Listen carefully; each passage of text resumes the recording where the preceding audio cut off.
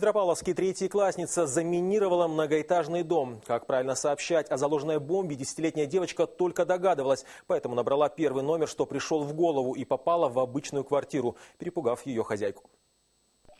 Полиция, здравствуйте. А, здравствуйте.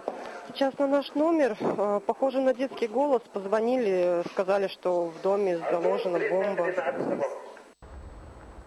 С этого звонка и началась эвакуация жильцов многоэтажки. Параллельно искали террориста. А когда нашли, очень удивились. Им оказалась та самая десятилетняя девочка. Выяснилось, что на такой шаг школьница решилась из-за скуки. Теперь родителям девочки предстоит оплатить спасательную операцию спецназа или отсидеть в колонии за хулиганство дочери.